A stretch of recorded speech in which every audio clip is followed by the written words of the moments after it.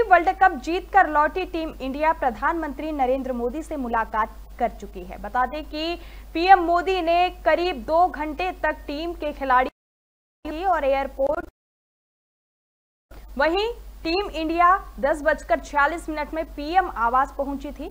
इससे पहले टीम ने होटल आईटीसी मॉर्निंग में स्पेशल केक काटा था। बता दें कि यहाँ कप्तान रोहित शर्मा सहित ऋषभ पंत सूर्य कुमार और हार्दिक पांड्या जैसे खिलाड़ी भंगड़ा करते हुए नज़र आए।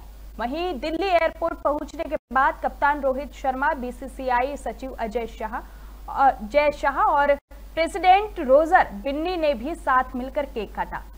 यहाँ भारतीय फैंस अपने चहेते हीरोज की एक झलक पाने के लिए बेताब दिखे। आपको बता दें कि शाम पाँच बजे से टीम की विक्ट्री परेड होगी और वहीं परेड के लिए ओपन रूफ बस तैयार हो चुकी है।